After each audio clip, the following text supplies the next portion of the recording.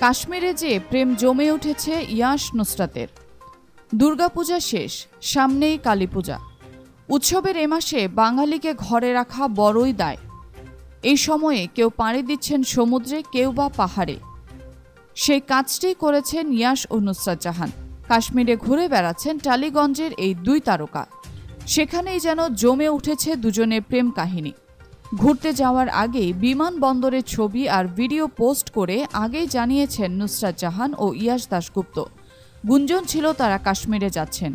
সেই গুঞ্জনই সত্যি হল ইয়াসের ইনস্টাগ্রাম স্টোরিতে। জম্মু কাশ্মীরে গান্ডেরওয়াল এলাকায় ওয়েদার চেকের ছবি পোস্ট করেছেন ইয়াস মাইনাস এক ডিগ্রি তাপমাত্রা সেখানে। শীত যে সেখানে বেশ ভালোই পড়েছে, তা ছবি দেখে বোঝা যাচ্ছে। একই টাঙ্গায় সামনে ছবি পোস্ট করেছেন দুজনে। ক্যাপশনে লিখেছেন, উইন্টার ইজ কামিং অর্থাৎ শীতকাল আসছে। এই ক্যাপশনে যেন দুই তারকার প্রেম জমে উঠেছে। উইন্টার ইজ কামিং কথাটি আসলে জনপ্রিয় web series Game of Thrones এর ট্যাগলাইন। সেই লাইনটি নিজেদের আবেগ প্রকাশের জন্য ব্যবহার করেছেন তারা। হ্যাশট্যাগ হিসেবে গেম অব থ্রোনস শব্দটিও ব্যবহার করেছেন দুই তারকা।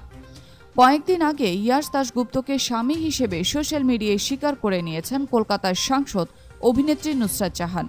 ইয়াসের জন্মদিনে কেকে নুসরাত স্পষ্টই লিখেছেন, স্বামী ও সন্তানের বাবা ইয়াস তারপর থেকেই যেন নেটিজেনরা আরও বেশি ইয়াস ও নুসরাতকে নিয়ে চর্চা শুরু করেছেন। পূজায় একসঙ্গে প্যান্ডেল হপিংও করেছেন তারা। শোনা যাচ্ছে, প্রযোজক এনা সাহার নতুন ছবিতে জুটি বাঁধতে পারেন নুসরাত ও ইয়াস আগস্টেই ছেলে ঈশানের জন্ম দিয়েছেন নুসরাত। তবে মেটার্নিটি ব্রেক বলতে যা বোঝায়, সেভাবে তিনি নেননি। ডেলিভারি মাসখানেক আগেও বিজ্ঞাপনে শ্যুট করেছেন তিনি। নানা ফটোশ্যুটে হাজির হয়েছিলেন। আর ছেলের জন্মের ১৩ দিনের মাথায় পৌঁছে যান কলকাতার একটি স্যালোর উদ্বোধনে। তারপর থেকে তাকে হর হামেশায় দেখা গেছে ইয়াসের সঙ্গে। কখনো ইয়াসের ছবি চিনে বাদামের শুটিং সেটে, আবার কখনো পূজার বিচারক হিসেবে। নতুন ছবির সাইনও করে ফেলেছেন নুসরাত জাহান।